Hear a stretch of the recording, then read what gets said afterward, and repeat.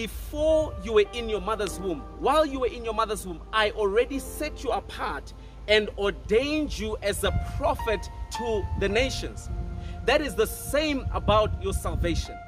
The Word of God says, even whilst we were still sinners, Christ died for us. How much more now that Jesus has come to die for us? Surely God's love is even greater. Hallelujah. So before God had a plan already, and that was for our salvation. And I'm hearing the saying that, you know, that goes, it's gonna end in tears. I wanna rebuke those words and say it's gonna end in a blessing. Because God has called you for such a time as this. He has ordained for your salvation. Hallelujah. I want us to go through a few uh, verses. I want to start by the book of Romans right now. Hallelujah.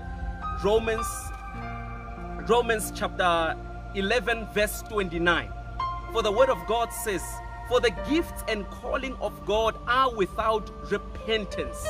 The gifts and the callings of God are without repentance, meaning God is not going to change his mind. God has called you, and no man can reverse that. Hallelujah. People may speak against you, people may label you, but we are never what people say we are because God is the one who has called us. Hallelujah. You may be saying, but Pastor, I am struggling at the moment. Pastor, I'm going through difficulties at the moment. Let me tell you something that is not your final destination. God has ordained you to walk in the blessing.